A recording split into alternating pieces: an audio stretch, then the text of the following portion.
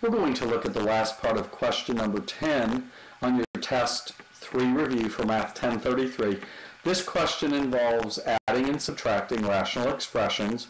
And again, in case you didn't watch the first part, let me remind you that when you're adding or subtracting rational expressions, you need a common denominator because basically the denominator represents the units. So when you're adding or subtracting things, you need common units. So let's look in the denominator here at this problem. Denominator is really what matters right now because this is a subtraction problem. Okay, we've got the camera on it now. Now, before I begin this problem, I need the denominators to match. x squared minus 4 can be replaced with x plus 2 times x minus 2. In other words, we factor. This denominator only has an x minus 2 in it. We need these denominators to match. So what you can see, this denominator is missing an x plus 2. If I put it downstairs, I also have to put it upstairs. When you multiply the denominator of a fraction by something, you have to do the same to the numerator. Now we have the same denominator now, x plus 2, x minus 2 one time because that's our common denominator. We work with the numerators. 7x minus 2 is the first numerator. Now this next numerator, we need to do some distributing here.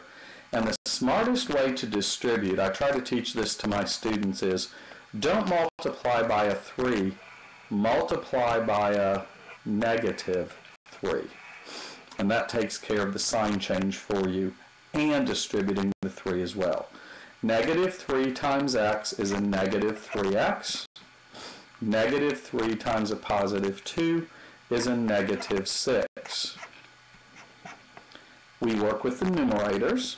The numerator becomes, when I collect like terms, it becomes 4x minus 8 the denominator, x plus 2, times the quantity x minus 2. Now, one thing that you would do in arithmetic, and you have to do the same thing in algebra, is to make sure that your final answer is in lowest terms.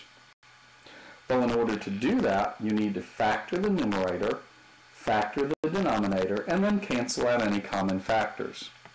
In the numerator, when I factor out a 4, I'm left with the quantity x minus 2. That's a different way of writing the top. And the denominator has already been factored. And now notice what happens. The common factors of x minus 2 cancel out, and my final answer is 4 over x plus 2.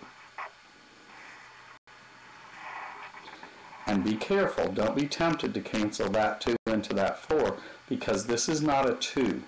This is an x plus 2. It's an entire quantity and that it's an entire factor and that plus makes it so. All right, thank you.